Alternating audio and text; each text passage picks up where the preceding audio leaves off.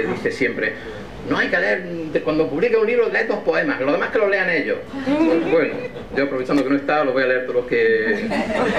hasta que digáis, ya está, lo dejamos aquí, pues ya está. Este es muy corto, es un poema muy corto de los primeros que yo escribí, pero siempre se llama Contraste. Se puede haber llamado también Indirecta, pero se llama Contraste. Dice, yo que sigo comprando esos pequeños libros de poesía española y tú que me regalas los últimos fascículos de nuevo bricolaje.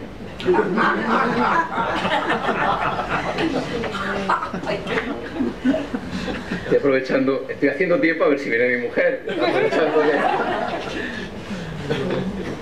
que, es que no ha venido porque tenía la puesta de banda mi hija, no, la entrega de diploma, mi hija Paloma en el colegio Blas Infante y dice, en cuanto pueda me escapo y vengo. Así que he leído un poco los que ya sale de mala y ahora ya a ver si llega y leo los que sale de buena. Bueno, voy a leer lo otro, si no.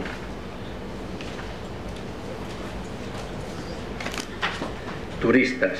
Bueno, este de turistas eh, es un poco eh, un poema donde intento donde intento reflexionar sobre el valor de, lo, cotidiano, el poder disfrutar de las pequeñas cosas del día a día que muchas veces no valoramos. ¿no?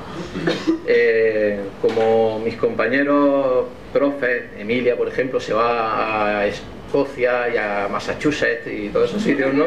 Esos países extraños, y muchos profesores, compañeros míos también se van de viaje y yo me voy a mi cortijo allí a, a los Vélez pues a veces dice, será mejor viajar tan lejos y tal, ¿no? O se puede disfrutar de las pequeñas cosas, ¿no? Bueno, pues yo intento disfrutar de las pequeñas cosas.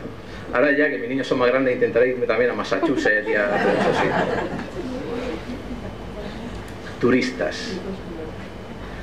Hoy somos dos turistas sentados en la mesa de un café mientras se oyen arrullos de palomas, la sirena de un barco acercándose al puerto muchachos que te ofrecen claveles o paraguas. La ciudad va tomando cierto tono violeta, lejos susurra el mar. En la mesa de al lado planean los ingleses visitas al antiguo barrio de pescadores. Llega olor de sardinas y el viejo camarero nos recita el menú.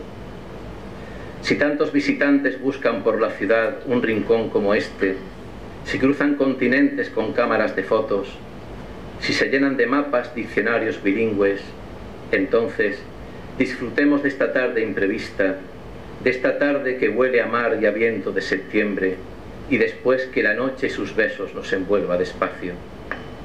¿Cómo es que tú y yo, viviendo a dos manzanas de aquí, no sabíamos que el paraíso estaba tan cerca?